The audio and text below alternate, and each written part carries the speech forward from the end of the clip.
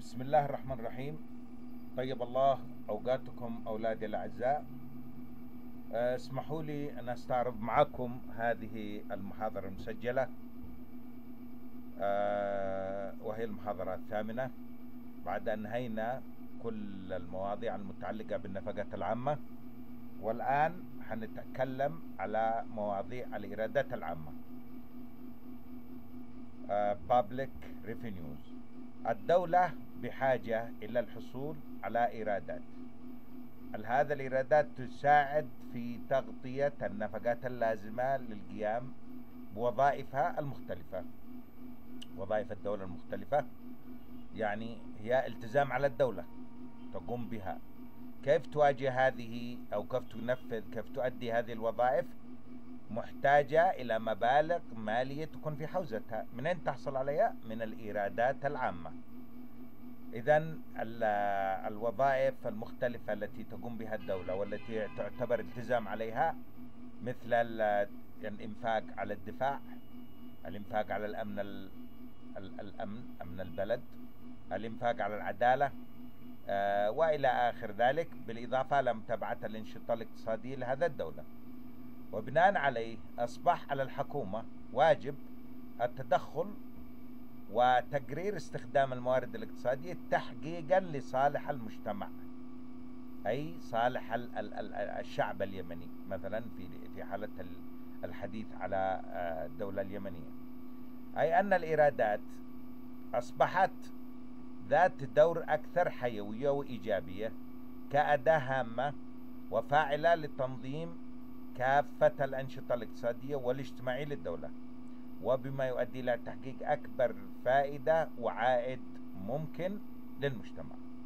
وتتمثل إيرادات الدولة في عدة أنواع منها الدومين الخاص والعام الضرائب الرسوم القروض العامة الإصدار النقدي الهبات المحلية والأجنبية الغرامات التعويضات التي تحدث آه، لممتلكات الدولة التعويضات على ممتلكات الدولة من جانب الغير الإتاوات وأثمان منتجات القطاع العام وفيما يلي تعريف لهذه المصادر. آه، إيرادات ممتلكات الدولة. إحنا نسميها الدومين العام والخاص. إيرادات ممتلكة الدولة نسميها الدومين العام والخاص. إذا الدومين العام إيش نقصد فيه؟ الدومين الدومين العام هي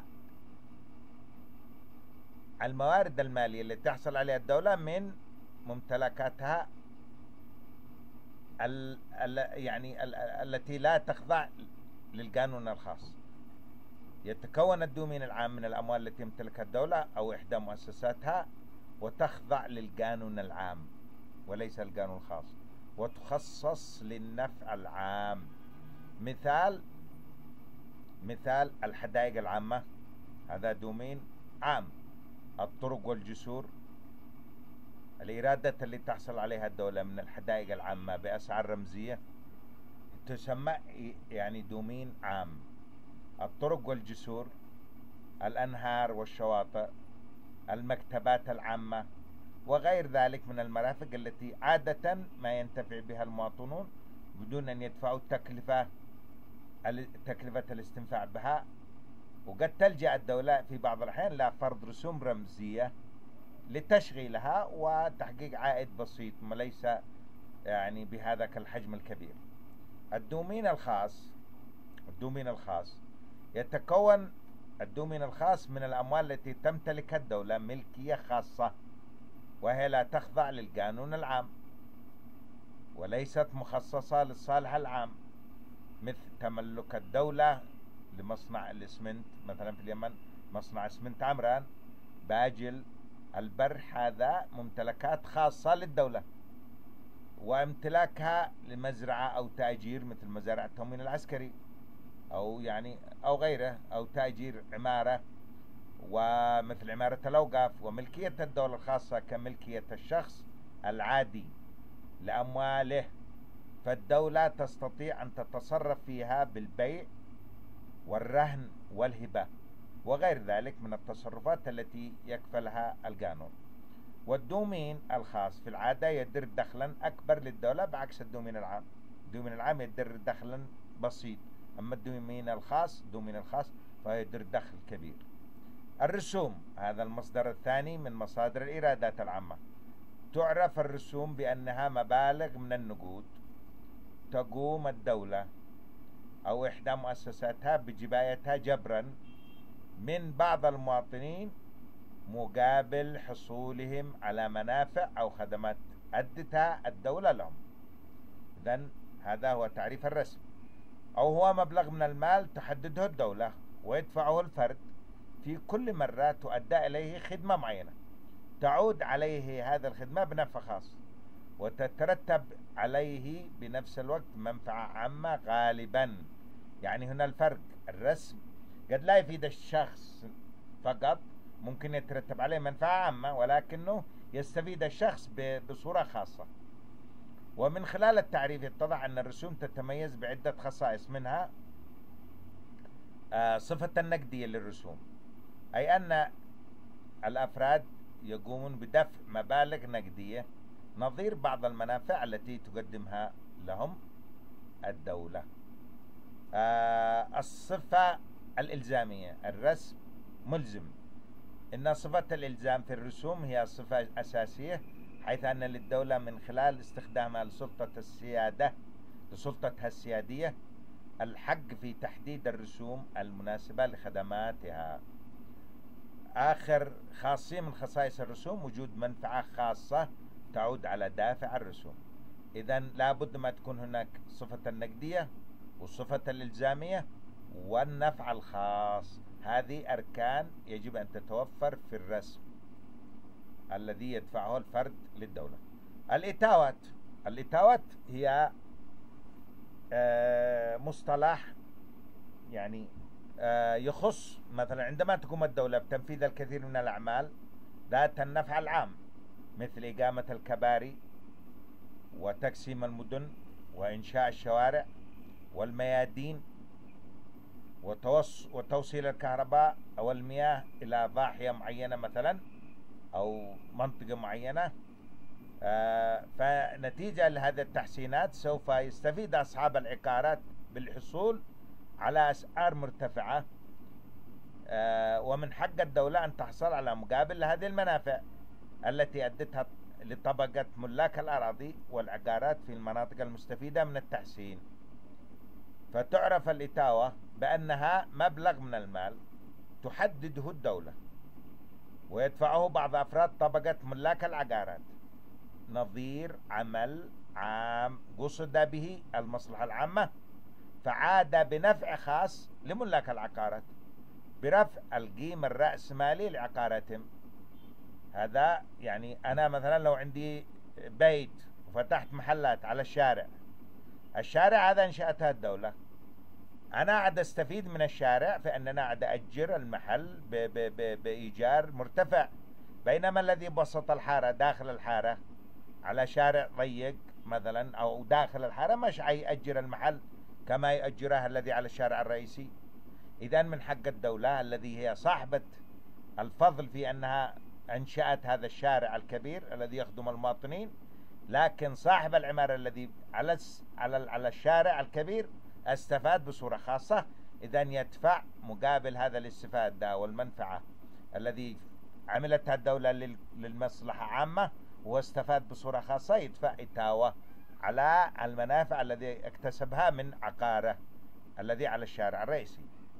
الثمن العام هذا برضو مصدر مصادر الإرادة العامة هو أن تقوم الدولة بإنتاج وبيع آه، السلع والخدمات مثل إنتاج الكهرباء وتوزيعها والغاز والمياه.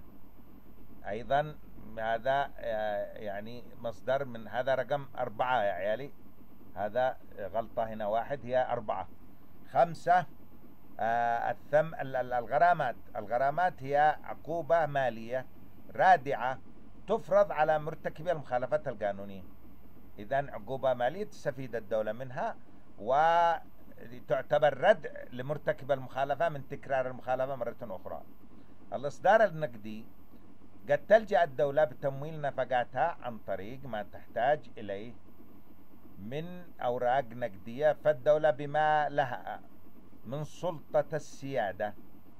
سيادة الدولة تستطيع إصدار الأوراق النقدية وإعطائها قوة إبراء الديون ولكن لهذه الطريقة اختارها لهذا الطريقة اختارها التضخمية الفادحة. فالحكومات عادة ما تحاول تجنب استخدامها. آه الهبات والهدايا والتبرعات.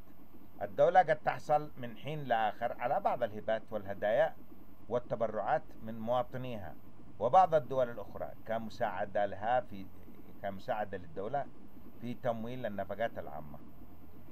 آه التراخيص هي مبالغ نقدية تأخذها الحكومة من الأفراد مقابل السماح لهم بالاستفادة من القيام بنشاط معين مثل رخص المهن والتجارة ورخص مكاتب الاستيراد والتصدير ورخصة الصيد ورخص قيادة السيارات.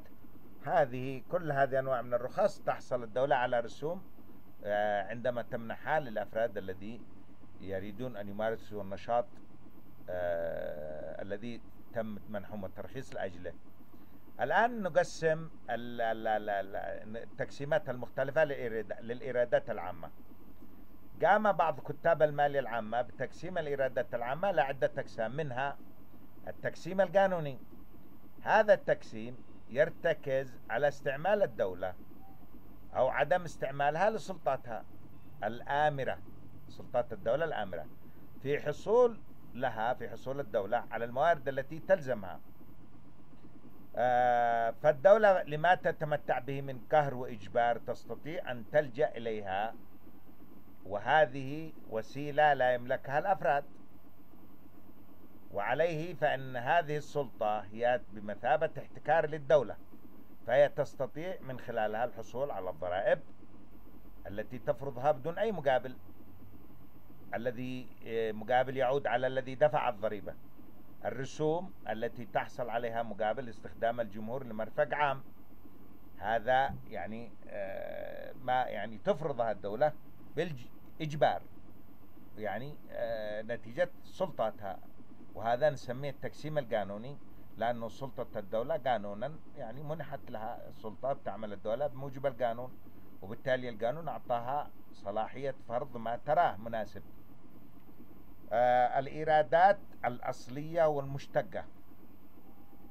يقصد يقصد بالإيرادات الأصلية تلك الإيرادات التي تحصل عليها الدولة من أملاكها من الدومين الخاص والعام. هذه يسموها إيرادات أصلية الإيرادات المشتقة يقصد بها تلك الإيرادات التي تحصل عليها الدولة عن طريق اقتطاع جزء من ثروة الآخرين مثل الضرائب والرسوم والغرامات. إذا هذه الضرائب والرسوم والغرامات بناء على التقسيم الإيرادات إلى إيرادات أصلية ومشتقة تعتبر الضرائب والرسوم والغرامات إيرادات مشتقة. بينما ما تحصل عليها الدولة من أملاكها مثل الدومين الخاص والعام تعتبر إيرادات أصلية الإيرادات الجبرية والإيرادات غير الجبرية. آه الإيرادات الجبرية هي تلك التي تحصل عليها الدولة قهرا بالإجبار من الأفراد والمؤسسات الخاصة مثل الضرائب هذه إيرادات جبرية. الرسوم إيرادات جبرية. أما الإيرادات الغير الجبرية فهي الإيرادات التي تحصل عليها الدولة بدون إكراه مثل الثمن العام مثل يعني آه، إصدار إصدار ال ال ال يعني الثمن العام الذي الدولة مثلا الآن المياه لو تحب تحصل على تشترك مع المؤسسة العامة للمياه تدفع للدولة قيمة ما تستهلكه من ماء. هذا إيراد آه، ليس جبري لأنه بإمكانك أن تشترك أو لا تشترك. الإيرادات السيادية وغير السيادية. الإيرادات السياد السيادية مش السياسية هذه غلط. الإيرادات السيادية يقصد بها الإيرادات التي ترتكز في إلزاميتها على السلطة السيادية للدولة. كما هو الحال في الضرائب والرسوم والإصدار النقدي. إذا أنتم الآن ملاحظين يا أولادي أنه تقسيمات مختلفة حسب ما تراها الدولة تسميها إيرادات سيادية وإيرادات غير سيادية. فأما الإيرادات غير السيادية فهي تلك الإيرادات التي تشبه إيرادات القطاع الخاص مثل دخل المؤسسات العامة والقروض والهبات. مثلا إيرادات الذي تحصل عليها مؤسسة الاتصالات إيرادات سياد يعني غير غير سيادية لأنه بإمكانك أن تشترك بخدماتها أو لا.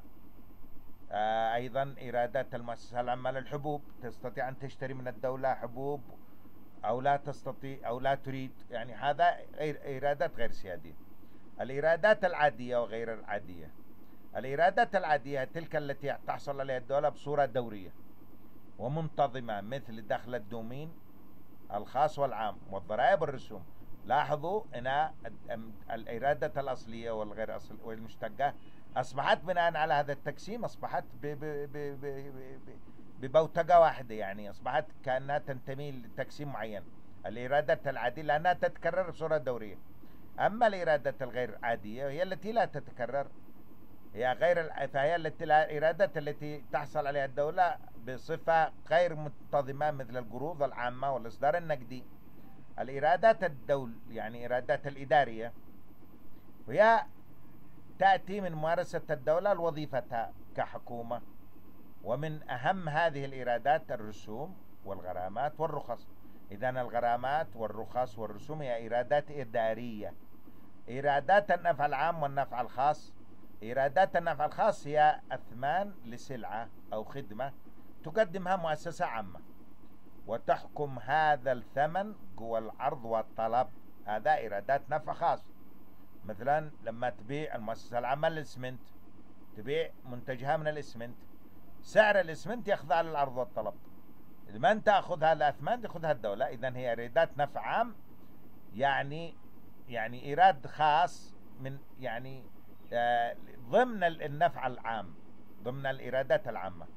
إيرادات النفع العام هي مقابل تحصل عليها الدولة نظير ما تقدموه من نفع عام.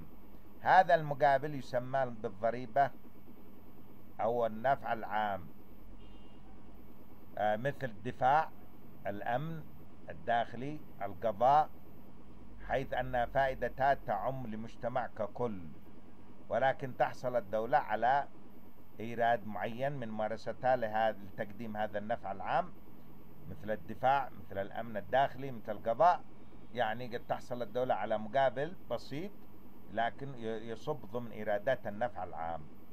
الإيرادات التجارية هي الإيرادات التي ترد إلى الخزانة العامة للدولة من النشاطات التجارية للحكومة بما تملكه الحكومة من موارد اقتصادية سواء كان ذلك عن طريق البيع أو الإيجار أو الاستثمار. يعني الآن الإيرادات التي تحصل الدولة من إيجار المباني حق الأوقاف تعتبر إيرادات تجارية. ما تبيعه مؤسسة الإسمنت تعتبر إيرادات تجارية. ما المؤسسة الاقتصادية اليمنية ما يتم بيعه تعتبر إيرادات تجارية. الآن نأتي إلى الإيرادات العامة في الجمهورية اليمنية تقسم الإيرادات في الجمهورية اليمنية الإيرادات العامة. فقسمت في اليمن تبوب الإيرادات العامة للدولة في الجمهورية اليمنية في خمسة أبواب. الباب الأول الإيرادات الجارية مثل الضرائب والزكاة ودخل المشروعات والرسوم والغرامات. هذه إيرادات جارية. الباب الثاني الإيرادات الرأسمالية مثل مبيعات الأصول الرأسمالية الثابتة ومبيعات الأراضي والتحويلات الرأسمالية ومبيعات المخزونات. هذه إيرادات رأسمالية. الباب الثالث هي باب المنح. لما تحصل الدولة على منح تسجل هذه ضمن باب المنح. الباب الرابع تحصل يعني متحصلات أصول القروض ومبيعات أسهم رأس المال. عندما الدولة تمنح قرض مثلا البنوك البنوك القطاع العام تمنح قروض مثلا الفوائد التي تحصل من القروض تسمى يعني أو تكون ضمن الباب الرابع اللي هي متحصلات أصول القروض ومبيعات أسهم رأس المال. عندما تبيع الدولة مساهمتها في مشروع معين العائد الذي يحصل ضمن الباب الرابع. الباب الخامس هو الاقتراض. عندما تقترض الدولة من دولة معينة من البنوك من من أي جهة خارجية مثلا هذه ضمن الباب الخامس الاقتراض. هذا ما آه، آه، يعني تحتوي هذه المحاضرة بصورة مستعجلة أو بصورة يعني مقتضبة ملخصة. وفقكم الله وسدد على طريق الخير هداكم وشكرا أبنائي الأعزاء.